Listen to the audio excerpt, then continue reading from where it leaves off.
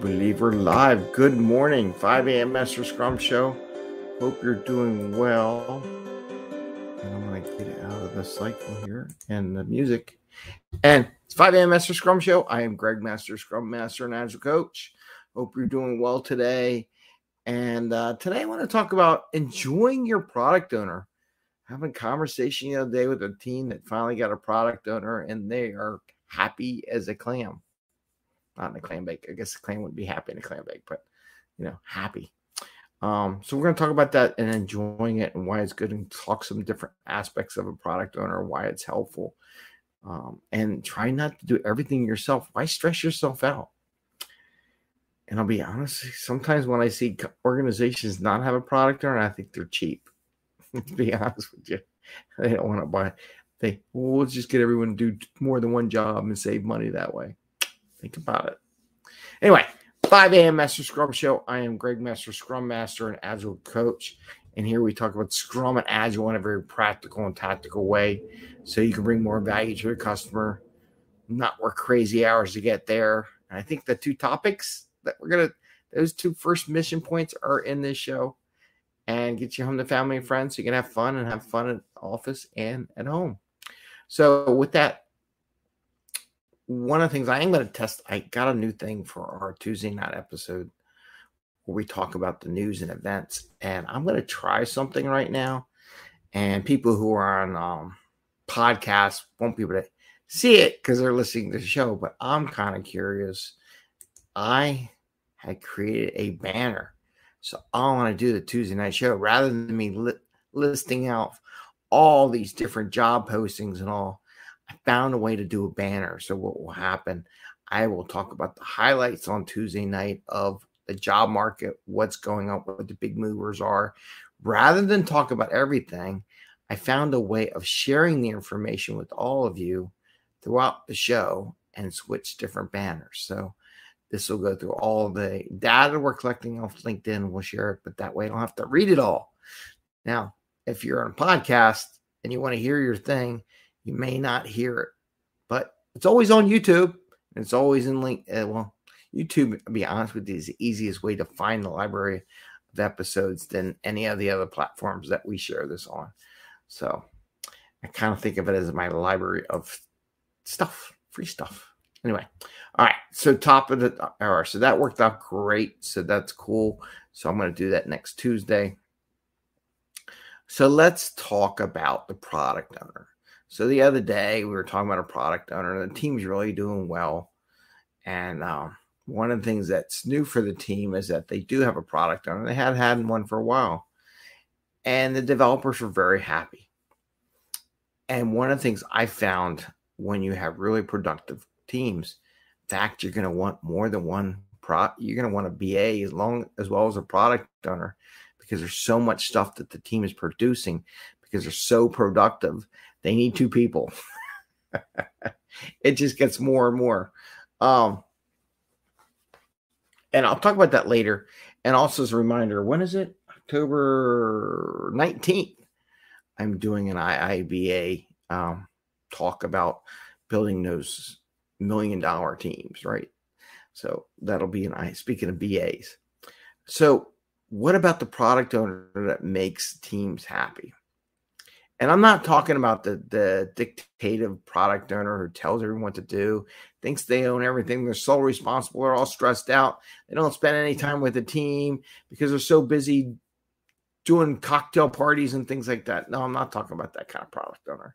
That's another issue when we talk product. What does it really mean to be a product owner? We could do another episode on that. But the idea so many teams think they want to make the company happy by overworking themselves. I'll write the requirements. I'll write the stories. I will code the stories. I will test the stories. I will do everything myself. Well, you don't want that, right? All you're going to do is turn yourself into a stress ball. And this is where Scrum Masters, Scrum Masters do the same thing too, to be honest with you. Scrum Masters sometimes try to be the product owner and the developer. You know, they try to do everything. And you really shouldn't try that. And it's just going to get you all stressed out. But I will tell you, the dev team, the one person that was kind of doing a lot of product owner duties, so happy that they don't have to do that anymore. It's a it's a relief. It's a pressure relief. Scrum is designed to think about what really what things need to be done and give some responsibility to an individual so the team can do what they do and be a high performing team when it comes to delivering product. And it takes a lot of energy. The product owner has to go out and visit the customer. It ain't easy dealing with customers. I'm going to be honest. As a business owner, and done um, retail business in the past, and it's tough sometimes doing dealing with customers. Um, not to say they're all bad, but it's a tough thing trying to get them to figure out what's the common question. Well, what do you want? Well, you really don't know what I want. I have the same problem right now. Me trying to figure out what do I want as a coach. I'm looking for other coaches to help coach me in different aspects. What am I looking for in a coach? And I'm using that questioning that to enhance my coaching um, program that I'm going to be offering soon too. But being that customer, what does the customer want? It's tough to identify that. And if you're building a product at the same time you're trying to collect information from the customer, it's hard to do. So you should try to get a product owner. And you know what? Don't let management or your company say, you know what? We don't need a product owner. Uh, here we go let's say Jim says, What is your opinion on feeling that POs must or even should be technical in nature, assuming they have technical product? You could just state it as a SME of the product domain if that's easier. I'm okay with you're going to develop as a product owner, you'll develop some technical knowledge of it. Having some knowledge of the domain is a good thing, right? to tell a developer how to code their product is a bad thing. You will, Jim, you will get more um, people revolt. not, I'm going to put a quote, not if PO tells the developer to code.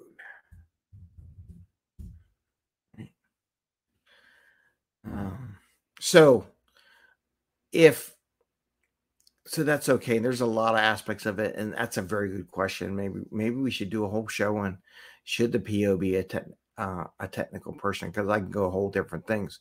I expect them to understand the product, what's the capabilities. They should go to trade shows, find out what new new capabilities come in. But what you have to be careful of is the PO thinks they're the only ones that can come up with new uses for it. POs and the technical people on their staff on the team should work together to come up with that. So you have to be very careful. And again, if a PO tells a developer how to code something, oh, it's just going to go bad, going to go bad fast. There's a guy who does YouTube programs, talks about um, coding. Um, I think it's a DevOps channel. I'll share it um, with everyone maybe I'll recommend it on LinkedIn or something like that. But he talks about they and they all talk about when a scrum master or product owner tells a dev team how to code, scrum breaks. Put it that way.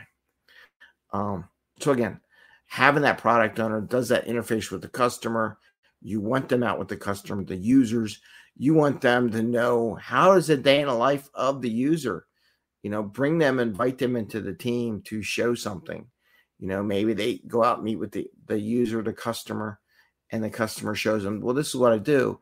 I mean, oh, we need to show this to the team, and then let the team experience it and see what this that happens. So that product owner is also the integral integration between the team and the customer, right? They got to do all that facilitation of that effort.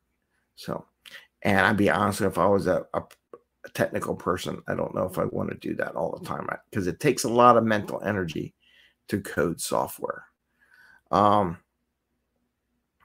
anything else? I agree with all that discussion of future about technical POs and how them doing research. What's tomorrow? Friday. Tomorrow's our happy day. How about we do we we talk about that Monday? So how about we chat on that on Monday? Now, it might be a earlier episode. I'm debating how I'm going to do this. I got some coaching activity I'm going to be doing uh, in the seven o'clock hour after I drop my kids off. So maybe we hit a 6:30 a.m. show, and we're moving it close more to what it was 5 a.m. in the morning. To be honest with you, so that is what I'm. I guess we'll go. We're at 10 minute mark, so we might as well close it out. Again, enjoy having a product owner. Don't let the company say, "Well, we don't need a PO." You know, it's like I want to try to encourage teams to do their own thing and be self. Don't hesitate to keep pestering management to get you a product owner, get you someone from the business, somebody who uses the product on the other side. You really want someone who's actually entering data in or using it to make sales or to market to the customer. You really want someone that has that interface and what makes their jobs better. Just because you're a technical expert I should write all this stuff down. I'll watch the video again. Doesn't mean that you can um, be that good product and that big customer representative on the team because you want to have that interaction every day. With that, I want to say happy, have a great day, happy scrumming, enjoy your day, stay stay healthy, and I wish you all the best. And we will see you on Monday. We'll talk about a technical BS maybe.